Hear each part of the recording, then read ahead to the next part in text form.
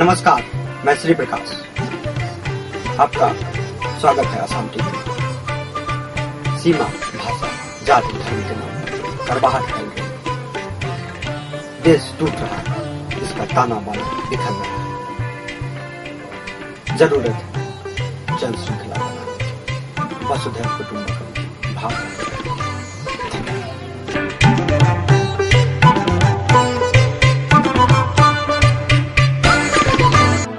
सांप छुछुंदर के खेल में फंसी कांग्रेस। कुर्सी की खींचतान में खिसकती कांग्रेस की ज़मीन मझधार में कांग्रेस डूबने के इंतज़ार में आला कमान। तेरह वर्षों से असम में शासन कर रही कांग्रेस की राजनीति अब तेज़ी से अपने अवसान की ओर बढ़ रही कांग्रेस शासन की हर मोर्चे पर रही विफलता के कारण पहले से ही जर्जर हो चुकी कांग्रेस पार्टी की, रही सही साख भी पार्टी के अंदर चल रही खींचतान के कारण समाप्त हो चुकी है। बीते लोकसभा चुनाव परिणाम से यह साफ़ हो गया कि असम की जनता अब कांग्रेस को नकार चुकी है। फिर भी पार्टी आला कमान ऐसे निश्चिंत है, मानो कि पार्टी के पूरी तरह डूबने का इंतज़ार किया जा रहा है। आइए देखते हैं कांग्रेस के अर्थ से फर्श तक पहुँचने की कहानी। कई वर्षों के अथक प्रयास के बाद, जब सन 2001 में राज्य में सत्ता में कांग्रेस की वापसी हुई तो लोगों में काफ़ी उम्मीदें जगी, क्योंकि सत्ता में आने से पहले कांग्रेस के नेताओं ने असम की जनता को एक से बढ़कर एक सपने दिखाए थे। भाषणों में ही हर समस्या का समाधान दिखा दिया गया था। सरकार का नेतृत्व तत्कालीन प्रदेश अध्यक्ष तरुण गोगोई को सौंपा गया केंद्र में अटल बिहारी वाजपेयी के नेतृत्व में राजग की सरकार चल रही थी। गोगोई सरकार आरोप प्रत्यारोपों के बीच इसी बीच सन 2004 में केंद्र में भी कांग्रेस की सरकार बन गई। दो वर्ष बाद ही असम विधानसभा के हुए चुनाव में पार्टी ने अनेक हवा हवाई घोषणाएँ की। जनता को दिग्भ्रमित किया और दूसरी बार फिर कांग्रेस सत्ता में वापस आ गई। देखिए गोगोई सरकार लगातार सत्ता में तीन बार आई। लेकिन इधर ढाई तीन साल से अंदरूनी कलह के कारण कांग्रेस की स्थिति कमज़ोर होती जा रही है। लोकसभा चुनाव के दौरान भी इसकी स्पष्ट छाप देखने को मिली। और गोगोई विरोधी खेमा और गोगोई समर्थक खेमा जब तक आपस में लड़ते रहेंगे, कांग्रेस की स्थिति असम में अच्छी नहीं हो सकती इस उपचुनाव में भी कांग्रेस को मात्र एक सीट प्राप्त हुई। तो जब तक पार्टी में एकजुटता नहीं आएगी, तब तक असम में कांग्रेस की स्थिति को सुधारा नहीं जा सकता। देखिए, वही बात है, जब तक फिर कांग्रेस पार्टी एकजुट नहीं होगी तो विधानसभा चुनाव में भी उसकी स्थिति बहुत कमज़ोर हो जाएगी, क्योंकि जो विपक्षी पार्टियाँ हैं, वो एकजुट होकर कांग्रेस को हराने के लिए रणनीति बनाने में अभी से जुट रही है। इसलिए सबसे पहला ये करना होगा जो दोनों पक्ष को कोई समर्थक और विरोधी खेमा उनको आपस में अपने मतभेद को भुलाकर पार्टी हाईकमान को एक ऐसी रणनीति के तहत सबको एकजुट करना होगा, जिससे कि अभी से वो लोग लग जाए कि दो हज़ार सोलह के विधानसभा चुनाव में फिर एक बार कांग्रेस पार्टी सत्ता में देखिए, अब देश की जनता को ज़्यादा दिन तक मूर्ख नहीं बनाया जा सकता। जातिवाद के नाम पर, धर्म के नाम पर, या अन्य कोई मुद्दे पर वोट लेने का जो तकनीक है अब पुराना हो चुका है। देश की जनता अब विकास चाहती है। केवल आपस में फूट डालकर, फिर क्षेत्रीय मुद्दों को उठाकर लोगों को इमोशनल ब्लैकमेल नहीं किया जा सकता है। अब नरेंद्र मोदी के सत्ता में आने के बाद विकास के मुद्दे पर ज़्यादा ज़ोर दिया जा रहा है। अब देश की जनता चाहती है, चाहे जिसकी भी सरकार हो, बीजेपी की सरकार हो, कांग्रेस की सरकार हो, या फिर दूसरी पार्टी की सरकार हो, जनता विकास चाहती है। जनता को काम चाहिए। कांग्रेस जो है, यहाँ से तीन बार में सत्ता में, लेकिन पिछले एक, दो साल से असम में कांग्रेस की स्थिति बहुत अच्छी नहीं है। उसका पहला कारण है कि असंतुष्ट गुट हावी हो रहे हैं। गोगोई सरकार का पहला दो कार्यकाल में उनको न विपक्षी दलों की तरफ़ से कोई चुनौती मिली, न पार्टी की तरफ़ से। बट तीसरी बात, तीसरे कार्यकाल में उनको विपक्षी दलों से कम और अपने पार्टी के अंदर से ज़्यादा चुनौती मिली है। विपक्षी खेमा लगातार हावी रहा है। और गोगोई सरकार का ज़्यादा समय विपक्षी खेमा के आ, के आरोपों को जवाब देने में जा रहा है। कांग्रेस की आपसी खींचतान के कारण उसका असर सरकार के कामकाज पर भी हुआ है जिसका नतीजा यह हुआ है कि राज्य में आपराधिक घटनाओं में वृद्धि हुई है। राज्य सरकार का प्रशासन पर प्रशासन पर पकड़ कमज़ोर हुई है और जिसका असर चारों तरफ़ दिखाई दिया है। इसका असर एक ये भी हुआ कि विकास की योजनाएँ प्रभावित हुई है। और कांग्रेस में आपसी फूट का फ़ायदा विपक्षी दलों को मिला है। हालाँकि यहाँ का मुख्य विपक्षी दल असम गण परिषद इस इस मौके का लाभ उठाने में असफल रही है, लेकिन भारतीय जनता पार्टी को इसका लाभ मिला है। तो मुझे लगता है कि कांग्रेस की स्थिति लगातार कमज़ोर हो रही है। और केंद्र से, केंद्र में नई सरकार आने के बाद केंद्र से जो राज्य सरकार को सहयोग मिलता था, एक एक मतलब छतरी मिलता, एक एक उनके सामने एक कवच था, वो बचाने वाला वो चीज़ हट गया। अब अब राज्य सरकार के पास बस एक मात्र एक ही उपाय है कि अगर अच्छा काम करेगी तो उसको जन समर्थन मिलेगा। लेकिन अच्छा तीसरी बात यह है कि एआईडीएफ के आने के बाद एक अल्पसंख्यकों का वोट बैंक भी कांग्रेस की तरफ़ से खिसक गया है। तो इन सब सारी चीज़ों का असर जो है, गोगोई सरकार के कामकाज पर हुआ है और मुझे लगता है कि ये सब सारी चीज़ें कांग्रेस के खिलाफ गई है। अगर कांग्रेस को फिर से जनमत की ओर आना है, पब्लिक का समर्थन लेना है तो उसे काम करना होगा और आपसी फूट को दूर करना होगा।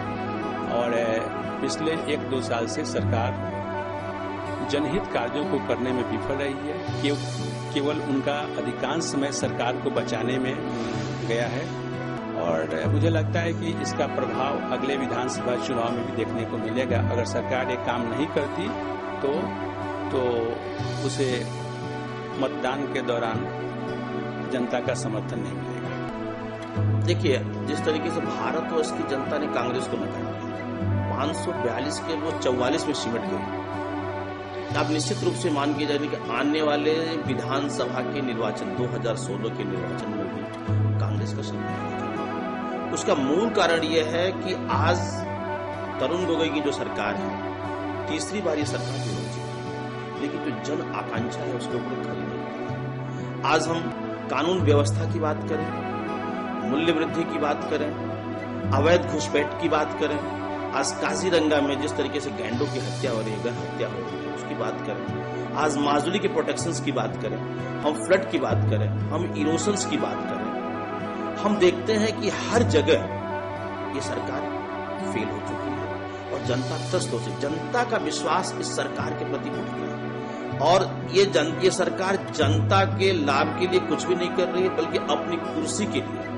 जिस तरीके की लड़ाई आज कांग्रेस के अंदर में सिर्फ़ कुर्सी के लिए हो रही है और जैसा विसंवाद देखने को आया, और जिस तरीके से तरुण गोगोई अपने पुत्र मोह में, पुत्र मोह में गौरव गोगोई के लिए जिस तरीके से वो एक राजनीतिक पार्टी के मुखिया होते हुए अपने ही दल के अंदर में जो उनकी स्थिति बदतर हुई, उसी तरह ठीक उसी तरीके से इस प्रदेश के अंदर में भी कांग्रेस की स्थिति काफ़ी खराब हो चुकी है और जनता त्रस्त है। और जनता का विश्वास इस सरकार के प्रति उठ गया है और जनता चुनाव का इंतज़ार कर रही है कि चुनाव आए और हम अपने पसंद का सरकार बनाए और निश्चित रूप से जनता का पसंद, इस बार जनता की पसंद भारतीय जनता पार्टी है क्योंकि एकमात्र विकल्प असम के अंदर में कांग्रेस का एकमात्र विकल्प भारतीय जनता पार्टी है और माननीय नरेंद्र मोदी के नेतृत्व में केंद्रीय सरकार एवं असम में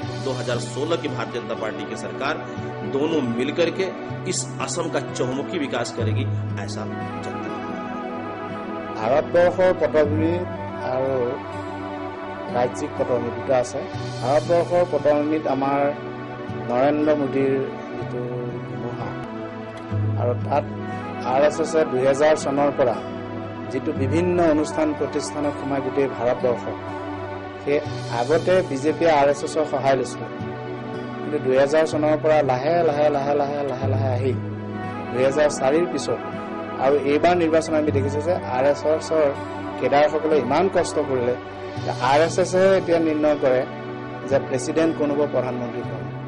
গতিকে আমাৰ উদাহৰণ আছে যে আমাৰ সেৱা দলৰ যিমানবিলাক সদস্য আছিল এটা সময়ত।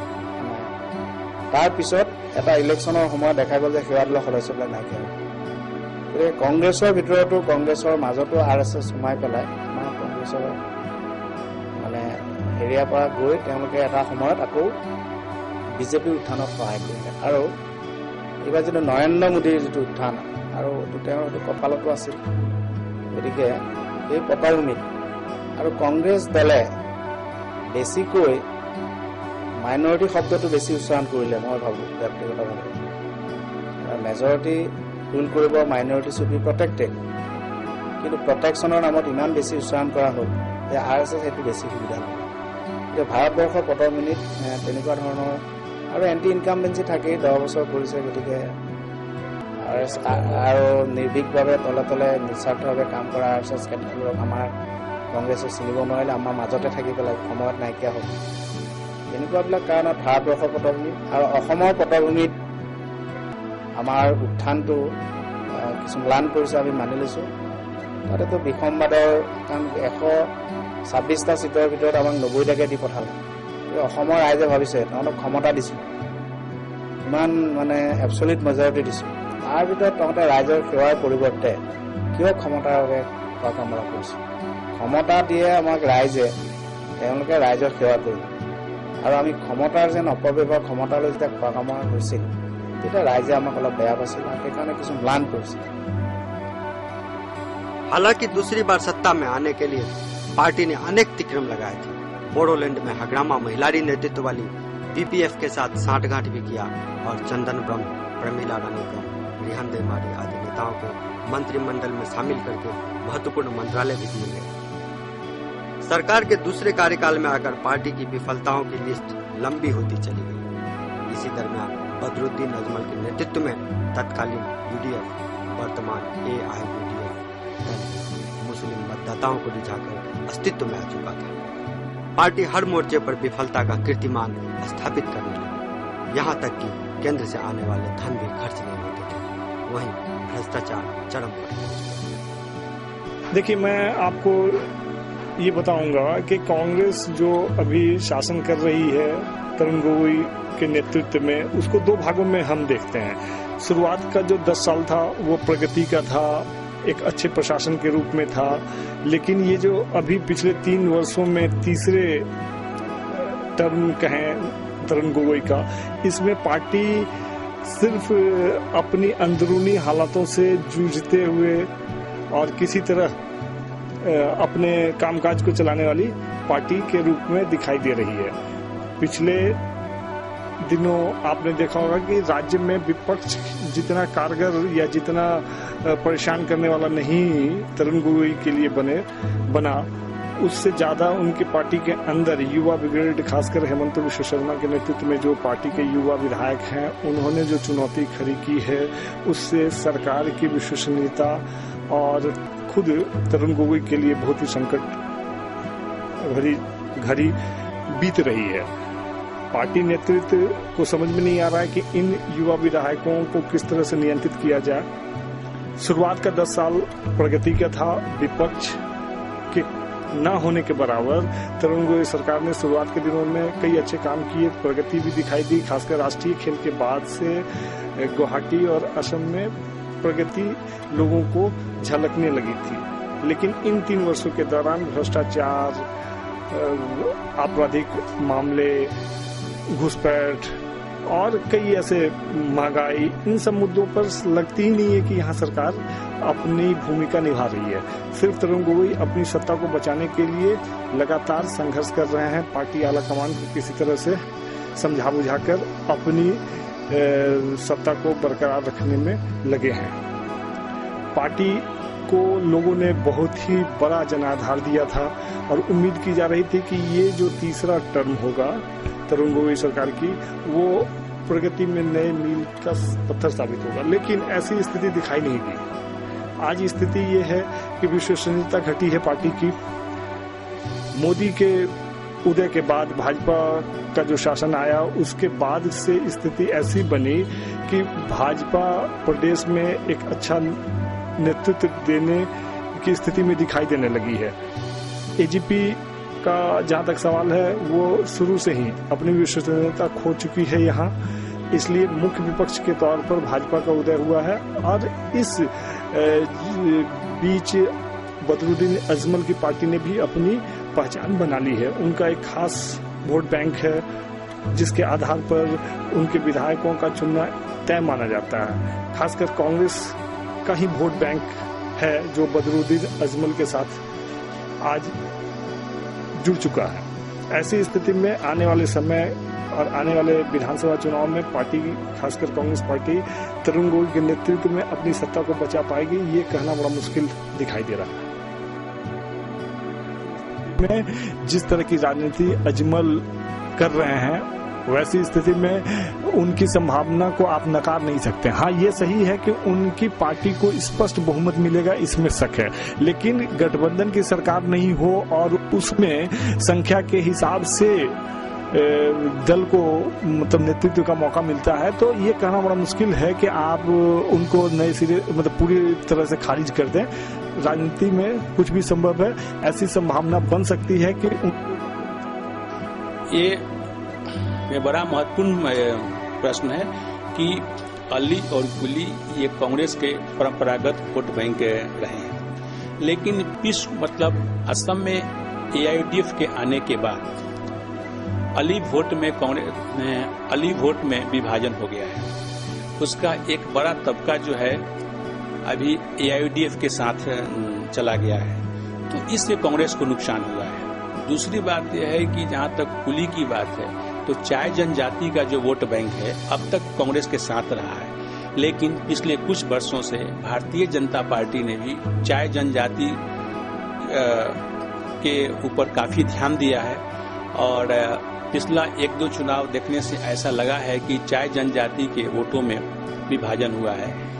पिछले लोकसभा चुनाव के दौरान भी भाजपा ने चाय ने चाय चाय जनजाति के प्रतिनिधियों को टिकट दिया और वे जीत करके लोकसभा जो है ना पहुँचे हैं। तो अब चाय जनजाति जो वोट बैंक है, वो केवल कांग्रेस का ही नहीं रह गया, बल्कि वो कांग्रेस और भाजपा के बीच में विभाजित हो गया है। बंगाली वोट जो है, खास करके बराक वैली का जो एरिया है, सिलचर है, करीमगंज है, वो ने, वो एरिया टाइम टू टाइम जो है ना बदलता रहता है। जैसे पिछले चुनाव में वो कांग्रेस को समर्थन दिया था, लेकिन बंगाली वोट बैंक में भी भाजपा और और कांग्रेस की हिस्सेदारी है। तो अब ये पहले जैसा चीज़ नहीं रहा है कि अली कुली और बंगाली ये जो वोट हैं, वो कांग्रेस के परंपरागत वोट हैं। हम काम करें या न करें, वो वोट हमको आना है। वो जमाना है ये हो गया बदल गया कि मैं पहले भी कर चुका हूँ कि आपको विकास करना पड़ेगा, काम जो है न करना पड़ेगा, चाहे वो अली का क्षेत्र हो कुली का क्षेत्र हो, बंगाली का क्षेत्र अगर आप काम नहीं कर पाएँगे तो केवल भावनात्मक जो है वो ब्लैकमेल करके आप कभी तक नहीं ले सकते हैं। आपको काम करना होगा। कांग्रेस ने अब तक इन लोगों को अपने राजनीतिक हित के लिए इस्तेमाल तो किया, लेकिन काम नहीं किया। इनको मौका नहीं मिला। उनका जितना विकास होना चाहिए, वो विकास नहीं हुआ। तो मुझे नहीं लगता है कि इस वोट बैंक पर कांग्रेस फिर दोबारा जीत कर आने आ पाएगी, क्योंकि अगले चुनाव में उनको भाजपा और एआईडीएफ से ज़बरदस्त प्रतिद्वंदिता करनी पड़ेगी, उनको, उनसे, उनको चुनौती जो है न मिलेगी। उस चुनौती का कांग्रेस को सामना करने के लिए तैयार होना पड़ेगा। अगर कांग्रेस तैयार नहीं हुई तो उसको पब्लिक नकार देगी सवाल यह उठता है कि इतनी सारी विफलताओं, अनियमितताओं के बावजूद आखिर सन 2011 में फिर से सत्ता में कांग्रेस वापस कैसे आ गई? क्या राज्य की जनता भ्रमित थी या अन्य कोई कारण था? कांग्रेस तीसरी बार सत्ता में वापस आ गई। आइए, आगे देखते चूँकि केंद्र में भी दूसरी बार 2009 में कांग्रेस की सरकार बन चुकी थी, इसीलिए राज्य की जनता की भी कांग्रेस से उम्मीदें बरकरार थी। सन 2011 के असम विधानसभा चुनाव के दौरान कांग्रेस के केंद्रीय नेताओं ने आकर फिर से खूब बड़े बड़े ख्वाब दिखाए। पॉकेट वोट बनाकर उन्हें साड़ी, कंबल मसरी लैपटॉप आदि का लोभ दिखाकर सेल्फ हेल्प ग्रुप आदि देकर वोट लिए इन सब के अलावे सबसे महत्वपूर्ण कारण यह था कि विपक्षी दल असम गण परिषद और भारतीय जनता पार्टी आपसी खींचतान में फंसी थी, जिस कारण वोटरों के सामने ठोस रूप में कोई विकल्प नहीं दिखा, जिसे जनादेश दिया जा सके। ईवीएम में हेराफेरी के विभिन्न स्तर पर आरोप लगे। कांग्रेस तीसरी बार सत्ता में आ गई, तरुण गोगोई तीसरी बार असम के मुख्यमंत्री। कहते हैं, सत्ता का नशा जब चढ़ता है तो पैतरे बताई जाते हैं। ऐसा ही मुख्यमंत्री तरुण गोगोई और उनके मंत्रियों, विधायकों, पार्टी नेताओं के साथ हुआ तेवर भी बदले और ताव भी। महत्वाकांक्षाएँ बढ़ी और बर्ताव भी। तरुण गोगोई के सबसे आत्मीय रहे तत्कालीन स्वास्थ्य मंत्री डॉक्टर हेमंत बिश्व शर्मा ने चुनाव के दौरान ही प्रचार करवा दिया कि इस बार शिक्षा विभाग में अधिक फंड आएगा, इसीलिए वे स्वास्थ्य के साथ ही शिक्षा मंत्रालय भी लेंगे। हुआ राजनीति में राजनीति में कुछ कुछ चीज़ भी असंभव नहीं है। असम के एक तिहाई विधानसभा क्षेत्रों में मतलब अल्पसंख्यक अल्पसंख्यक मतदाता जो है, वो निर्णायक स्थिति में है। तो अगर कांग्रेस और भारतीय जनता पार्टी और एआईडीएफ चुनाव लड़ती है और और मतों का अगर ध्रुवीकरण होता है तो ऐसी स्थिति में ये संभव है। लेकिन अभी वर्तमान स्थिति को देखते हुए मुझे नहीं लगता है कि एआईडीएफ अकेले सरकार बनाने की स्थिति में होगी। कांग्रेस की स्थिति अभी ऐसी नहीं हुई है कि वो अल्पसंख्यक जो है, मत एक तरफा जो है एआईडीएफ की तरफ़ होंगे। चुनाव में तो राजनीतिक नेता बड़े बड़े दावे जो है ना करते हैं, कुछ भी किया जा सकता है। लेकिन अभी तक मुझे नहीं लगता कि ऐसी स्थिति बन गई है कि एआईडीएफ अकेले अपने दम पर सरकार गठन करेगी। हाँ उनको हाँ इतना ज़रूर है कि एआईडीएफ जिसकी भी सरकार बने, निर्णायक स्थिति में होगी और, लेकिन, अकेले सरकार बनाने की स्थिति में नहीं होगी।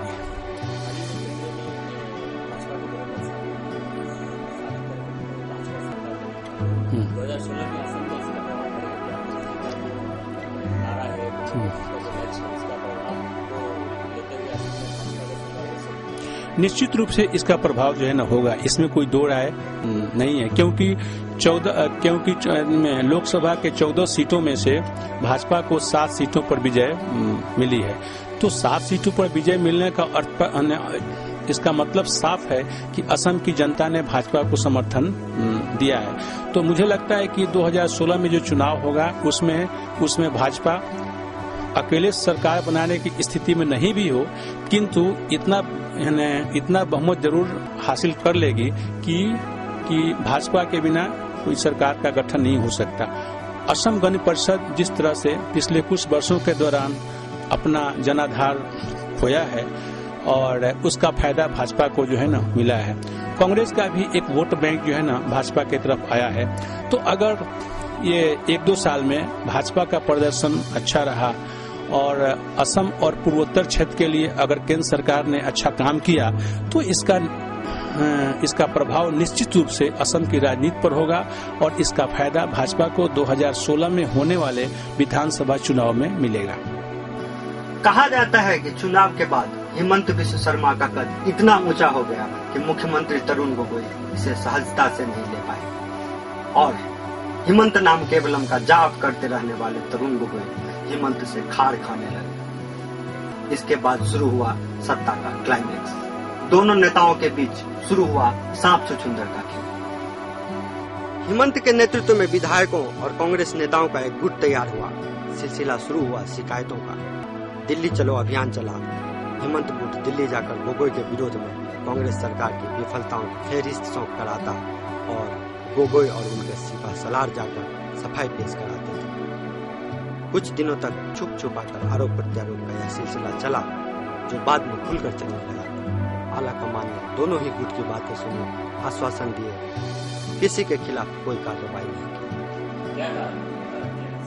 देखिए सरकार में आज ती, तीसरी बार सरकार कांग्रेस बनाने के बाद जो मेरे को लगता है कि आज जनता का विश्वास इनके ऊपर जो उठ गया था उसका मूल कारण है भ्रष्टाचार। इस सरकार के अंदर में अगर आप देखें तो पियोन से लेकर के मिनिस्टर तक सारे भ्रष्टाचार के आकंठ में डूबे हुए और जिस तरीके से गरीबों की गाढ़ी कमाई का दुरुपयोग हो रहा है, अपव्यय हो रहा है कि जनता इस चीज़ को नोटिस कर रही है। क्योंकि आज केंद्र सरकार से भी बहुत पूंजी आई, लेकिन उन पूंजी को जनता के कामों में नहीं लगा करके उसका अपव्यय किया गया। और अपव्यय करके भ्रष्टाचार के आकंठ में डूब करके यह लोग जिस तरीके से जनता को, जनता जिस तरीके से परेशान हुई और जितने भी स्कीम्स हैं, जितने भी आसानी हैं, उनका जो है क्रियान्वयन सही तरीके से नहीं हुआ और लूट खसोट कर रही है, इसलिए मैं सोचता हूँ कि एक ये मूल कारण है। दूसरा कारण है कि अहम की भावना। जिस तरीके से आज माननीय तरुण गोगोई जी बात करते हैं या उनके मिनिस्टर्स बात करते हैं वह जनता के जो जनता की आशा और आकांक्षा या जनता का जो प्रेम है, उसको उन्होंने रिजेक्ट करके वो अहम, इतने वो इगोस्टिक और प्राउड हो गए हैं क्या वो सोचते हैं क्या कि असम के अंदर में हमेशा कांग्रेस की सरकार रहेगी और जो सरकार जो चाहेगी वो करेगी। इसलिए ये सरकार जो है भ्रष्टाचार में पूरी डूबी हुई है और जहाँ तक सुशासन की बात है, मैं कहता हूँ कि गुड गवर्नेंस भी नहीं है। आज लॉ एंड ऑर्डर की बात करें तो उग्रवादी खुले आम। आज आपने देखा प्रिया बसमती कांड के अंदर। कितनी लज्जाजनक और शर्मनाक ये घटना थी और हम लोगों ने टीवी में देखा। और ऐसी घटनाएँ हो रही हैं और सर, सरकार मौन बैठी हुई है और एक्शन जब लेती है तो संवाद माध्यम जिसने इसको फोकस किया जिसने जनता को बताया कि इस तरीके से अवैध हस्त्र लेकर के उग्रवादी जहाँ तहां घूम रहे हैं ये जानने के बाद में भी सरकार संवाद जगत के लोगों को गिरफ़्तार करती है तो निश्चित रूप से मैं सोचता हूँ कि कानून व्यवस्था के नाम पे भी जनता त्रस्त हो चुकी है। आए दिन अपहरण चोरी डकैती हत्या महिलाओं के प्रति जो ये अपराध हो रहे हैं उसमें बहुत ज़्यादा बढ़ोतरी हुई है। बलात्कार की घटनाओं में बहुत ज़्यादा वृद्धि हुई है। इसलिए महिलाएँ सुरक्षित नहीं है बच्चे सुरक्षित नहीं है। असम के नागरिक वो बाल आप, आप असम के नागरिक इतने इतने ज्यादा त्रस्त हो चुके हैं कि वो अब ये सोच रहे हैं कि जल्दी से सरकार जाए तो और सरकार सब कुछ जान करके भी वो उनके पास कोई सदिच्छा नहीं है जनता के भला करने के लिए उनके मन में कोई ख्याल जैसे आता ही नहीं कि हम जनता का कोई भला करने का कोई काम करें तो मेरे को लगता है कि यही सब मूल कारण है মই এটা কথা কওঁ আপুনি যদি এতিয়া শিলচৰটোৱে লোকসভাত হৈ গৈছে আপুনি শিলচৰ যদি এতিয়া যিটো আমাৰ লোকসভাৰ নিৰ্বাচনটো আপুনি চাই যায় তাতো আপুনি দেখিব যে এতিয়া আমাৰ লখিমপুৰটো জিকিছে শিলচৰত আমাৰ হাৰিছে। আৰু গোটেই অসমৰ যদি পটভূমি তাত শিলচৰ লোকসভাটো যদি চাই তাত যোৱা বিধানসভা আৰু আমাৰ হৈ যোৱা লোকসভাত যিখিনি ভোট আমাৰ সুস্মিতা দেৱ ডাঙৰীয়ানে পাই জিকিলে তাৰ জনগাঁথনিবিলাক চাব। একচেপ্ট লোকসভা শিলচৰৰ বাহিৰত বেলেগ মাইনৰিটি ডমিনেটেড চিটেই হওক মেজৰিটি ডমিনেটেড চিটেই হওক হিন্দু ডমিনেটেড চিটেই হওক তাত কিন্তু সকলোতে মেজৰিটি পাইছে। ঠিক তেনেধৰণে অসম আন্দোলনৰ পটভূমিত আৱেগিক জোৱাৰৰ মাজতো অগবতলে কিমান চিট পাইছিল মেজৰিটি পোৱা নাছিল। আৰু অসমৰ জনগাঁথনি এনেকুৱা নহয় যে মই আপোনাক আগতেই ক'লো য'ত শংকৰদেৱে গাৰোৰ গোবিন্দ মুছলমানৰ চান খাই সকলো জনগোষ্ঠীক একত্ৰিত কৰি আমাৰ জন এটা অসমীয়া জাতি গঠন কৰিছে। গতিকে ইয়াত বিজেপিৰ হিন্দুত্বটোৱে যে অকল ক্ৰিয়া কৰি তেওঁলোকে উত্থান কৰিব কাৰণ আৱেগিক ঢৌটো তেওঁলোকে পৰা নাছিল। গতিকে আৰু এ আই ডি পি সাম্প্ৰদায়িকতাটো যিখিনি আমাৰ ইণ্টেলেকচুৱেল অসমৰ থলুৱা মুছলমান লোক তেওঁলোকে ইতিমধ্যে নচাত কৰিছে। আৰু আমাৰ যিখিনি প্ৰমুৱা মুছলমানেই কওক অসমীয়া তেওঁলোকেও লৈছে। তেওঁলোকৰ মাজতো ইণ্টেলেকচুৱেল গ্ৰুপ যিটো আহিছে বা জনা শুনা হৈছে তেওঁলোকেও লাহে লাহে প্ৰত্যাখ্যান কৰিছে। গতিকে আমি এতিয়া ক'ব পাৰোঁ যে অসমত কংগ্ৰেছ দলে উত্থান কৰিব অলৰেডি কৰিছেই। আৰু এই জনগাঁথনি আৰু অসমৰ ভৌগোলিক পৰিৱেশ ভৌগোলিক পৰিৱেশ আৰু অতীতৰ বুৰঞ্জী গোটেইখিনি চাই মহাত্মা মানৱ মানৱ মানৱ মহামানৱ মহাত্মা গান্ধীৰ ঈশ্বৰে আল্লাহ তেৰে নাম চবকো সন্মতি দিয়ে ভগৱান আমাৰ সকলোৰে সৎমতি এটা আছে গতিকে অনু মানে ঐক্যৰ স্বাৰ্থত অসমৰ অখণ্ডতাৰ স্বাৰ্থত আৰু অসমৰ উন্নয়নৰ স্বাৰ্থত কংগ্ৰেছ দলৰ উত্থান হ'ব কংগ্ৰেছ দলৰ চৰকাৰ কৰিব कहते हैं इस घर को आग लगे घर के चिराग से जी हाँ अभी हाल ही में हुए लोकसभा चुनाव में कांग्रेस का सुपड़ा साफ हो गया राज्य के कुल 126 विधानसभा क्षेत्रों में से 20 में कांग्रेस 25 में एआईयूडीएफ इकहत्तर में भाजपा और 10 क्षेत्र में अन्य पार्टियों को बढ़त मिली। सवाल यह है कि यदि मोदी लहर का असर था तो A I U D F को 25 क्षेत्रों में बढ़त कैसे मिली? बागियों के तरीकों को लेकर गोगोई गुट चाहे जितना सवाल उठाए, लेकिन बागियों का आरोप निराधार नहीं है। राज्य की जनता इस शासन से निराश हो चुकी है। जिस प्रकार प्राइवेट लिमिटेड कंपनी की तरह तरुण गोगोई सरकार को और भुवनेश्वर कलिता प्रदेश कांग्रेस को चला रहे हैं, इसे डूबने से कोई नहीं बचा सकता। ऊपर से पार्टी में जारी संघर्ष भाग में घी का काम कर रहा है। सब कुछ सुन और समझ कर भी पार्टी आला कमान इस पर कोई कार्रवाई नहीं कर रहा है। इससे सच्चे कांग्रेस हताश है। पार्टी में बिखराव शुरू हो गया है। प्रदेश कांग्रेस मुख्यालय राजीव भवन में भी अब दबी ज़ुबान मोदी के भाषणों की तारीफें होने लगी है। पार्टी को संभाले तो आखिर कौन? बड़ा सवाल है। लगता है नेतृत्व में निर्णय लेने की क्षमता ही। कांग्रेस का शीर्ष नेतृत्व चाटुकारों की जुंडली से घिरा हुआ है और पार्टी की वास्तविक स्थिति समझने की उसे फुर्सत नहीं है। नेताओं की अकर्मण्यता और भ्रष्टाचार के साथ ही पार्टी के अंदर का घमासान इसे खोखला कर रहा है। 2016 का चुनाव सामने है और आला कमान निश्चिंत ऐसे में कांग्रेस का होता क्या है? आइए देखते हैं 2016 के चुनाव परिणाम। अब समय हो चला है इस कार्यक्रम से विदा लेने का। लेकिन असम टीवी में खबरों का सिलसिला जारी रहेगा तब तक के लिए आप सभी को